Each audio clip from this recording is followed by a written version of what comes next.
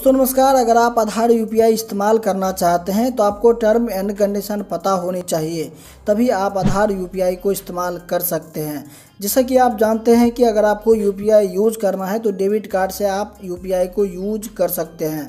लेकिन आने वाले समय में मैं आपको बता दूँ 30 जून तक में आपका जो है, आधार से यूपीआई आप लोग यूज़ कर पाएँगे।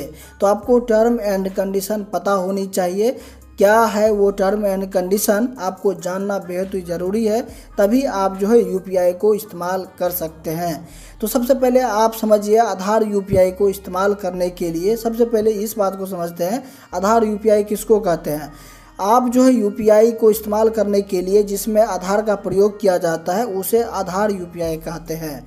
आपको अभी तक जो है यूपीआई जब इस्तेमाल करते हैं तो डेबिट कार्ड से आप यूपीआई को इस्तेमाल करते हैं तो उसे जो है डेबिट कार्ड यूपीआई भी कह सकते हैं। लेकिन जब आप आधार से यूपीआई इस्तेमाल करेंगे तो आधार यूपीआई उसको कहते हैं। चलिए हम आपको बताते हैं कि क्या है वो टर्म एंड कंडीशन जिसको आपको फॉलो करना चाहिए, तभी आप जो है आधार यूपीआई इस्तेमाल कर सकते हैं।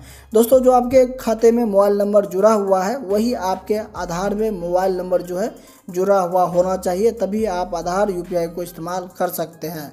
या आप इस तरह से भी समझ सकते हैं, जो आपके आधार में मोबाइल नंबर जुड़ा हुआ है, वो खाते में होना चाहिए। यानी कि जो आपका आधार का जो है मोबाइल नंबर और खाते का जो मोबाइल नंबर है, दोनों सेम होना चाहिए अलग अलग नहीं होना चाहिए। अगर अलग अलग होगा तो आप आधार यूपीआई इस्तेमाल नहीं कर सकते हैं।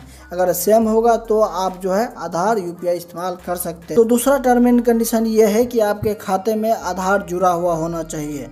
तो जब तक आपके खाते में आधार जुड़ा हुआ नहीं होगा तब आप लोग जो है आधार यूपीआई का इस्तेमाल नहीं कर सकते हैं।